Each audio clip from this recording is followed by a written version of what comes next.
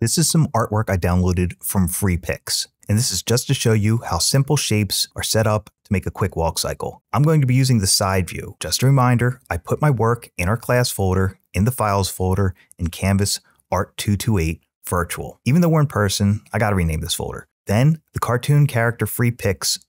This is the cleaned up character, the walk cycle. So for this demonstration, I'm going to grab the side view. I'm going to Control C to copy it, close the window,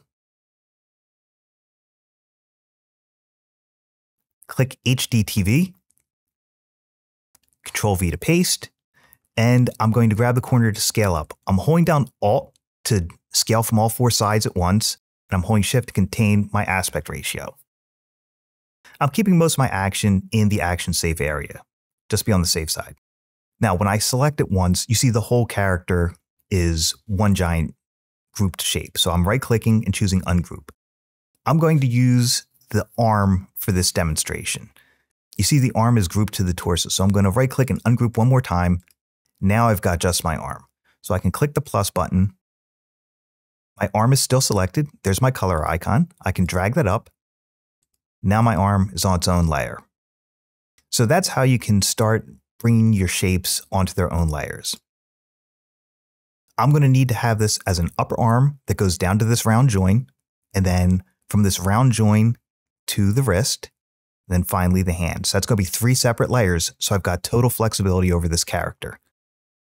So I'm going to right click, ungroup it again, and it's perfect. I've got my shoulder to the round join. Make a new layer, drag it up there, and I'm going to name it by double clicking. I'm going to say front arm shoulder. So I know it's the arm that's in the foreground. Now, on the layer below, this is still grouped together. So I'm going to right click, ungroup. So now I've got this the way I want. And I'm going to make a new layer, drag it up there, front arm, forearm. My forearm goes above the shoulder. You'll see that when you're animating. And this last layer down here is the hand. So I can just rename that layer. And the hand will be on the top. So I'm doing that for each limb. I would do it for the arms and the legs. The legs would be from the thigh down to the knee, then from the knee down to the leg. I'll do one leg just to show you. I'm going to right click, ungroup. Now remember, if I drew this myself, I wouldn't have to go through all this. This is only because I downloaded it thinking it'd save me some time. I don't need to see this leg. So that's the back leg. I'm going to put it on a new layer and hide it by clicking the icon.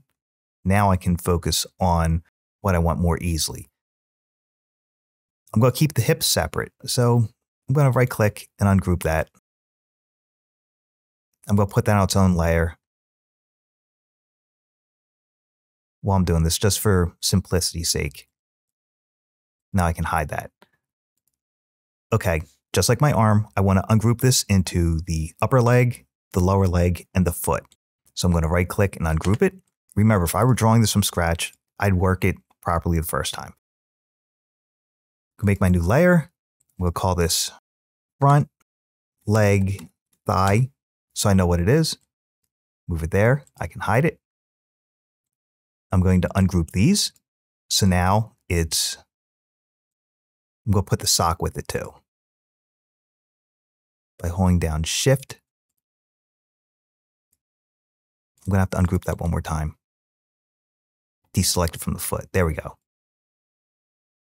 Now I've got the calf plus the sock because those are going to move together. The sock wouldn't move with the foot.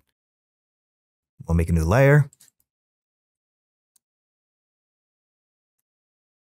Front leg calf, drag my color icon up to it. Now that's there.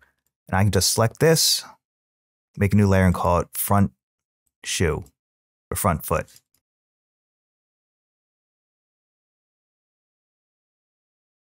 Put those back on. I'm going to put my calf above my thigh and my foot above my calf. So I would do the same thing for the back leg and the back arm. For the head, let me split out this torso real quick. And I grab my color icon, move it up there. Now that's on its own layer. The neck, I'm going to right click to ungroup this and zoom in by pressing Control or Command and the plus symbol. This will all be one layer, the neck and the shirt. That's fine. Go drag up there.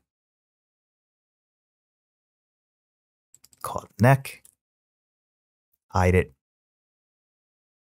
Now for my face, I'm going to want the hair on its own layer, the ear and the skin on one layer, the eyebrow, the eyeball, and the mouth on their own layers. So I click once, and I've got to ungroup this. Remember, if I create it from scratch, I wouldn't have to be doing all this extra work. I've got that. I can call it face. I know I misspelled it. That's fine. If I want, I could do top hair and back hair. Let's do that. Here, top, top hair on its own layer, hide it, then the back hair on its own layer.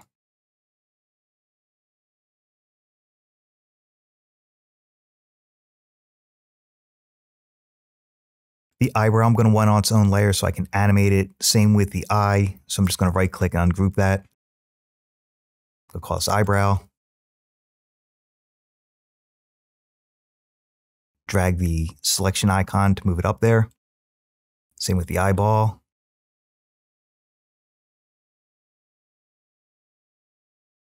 Drag the little blue marker.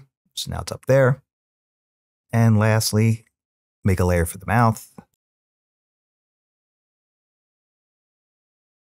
So you're seeing how I'm splitting out the character to get the most amount of flexibility while working with it. Now I just fix my layer order here. I want the face below all that. And then I'm going to put my hair back below the face and my hair top above the face. Okay, so the neck is too high up. And that fixes all of it. So that's just an example. Breaking into layers gives you all that flexibility. And remember, save as, save frequently. You know, I would have done more work than then. Uh, save it as AI, and the default settings are fine, and we're good. So now I'm going to bring this into After Effects. So if I go File, Import File, I change Import as Footage to composition, retain layer sizes, click import. Here's my sequence, double click to open it in my timeline. Remember, when you're working with Illustrator files, you've got to continuously rasterize them. That's under your switches. Remember, you click here to go between your switches and modes. There's my modes and track mattes. Click switches again, and I'm in my switches. I'm going to put a color layer behind here by going layer new, solid.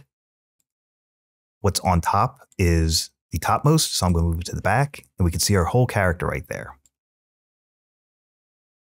Now, I'm going to parent this, and then we'll do the walk cycle for another lesson coming up soon. The hair, I'm going to parent to the head. You got two options. You can use this drop down menu, or you can click and drag the pick whip. I recommend using the pick whip because you're going to need it once we start tackling expressions. The hair is parented to the head. The back of the hair is going to be parented to the head. The shoulder will be parented to the torso. So the way this works, it'd be like the hand is parented to the form. Let's start lower. So if I find my hand, my forearm right here, I'm going to drag to the shoulder. The hips are going to be parented to the torso. The neck is going to be parented to the torso thigh will be parented to the hips, calf will be parented to the thigh, shoe is parented to the calf. My back thigh is going to be parented to the torso. My back calf is going to be parented to the back thigh, and my back shoe is parented to the back calf. And I should have broken down the hand. That's fine. You know, Next, we're going to do a walk cycle. We'll do a quick, simple one, and then I'll show you how to take it from there and apply more of the 12 principles of animation to it. Always remember to save frequently. And uh, another thing, here's a little tip as you're working edit, purge all memory and disk cache.